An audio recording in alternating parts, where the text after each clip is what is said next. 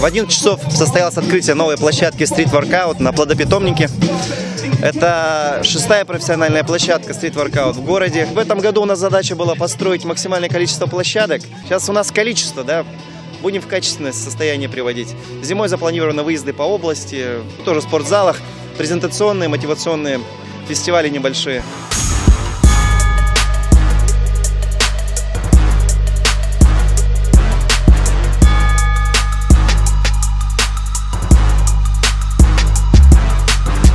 Второго ноября открывается зал на Мухина. Там тоже будут тренировки, но пока расписание не знаю. Но в том году по воскресеньям были тренировки в два потока. Народ ходил, всем нравилось.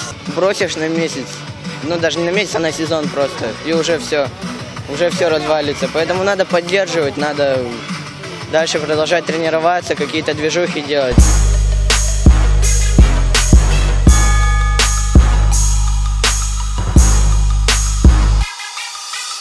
Друзья подсадили, сказали, типа, занимайся, попробуй. Ну, я попробовал, мне понравилось, вот сейчас зани- занимаюсь. Занимаюсь я 4-3 месяца, я практически ничего не умел.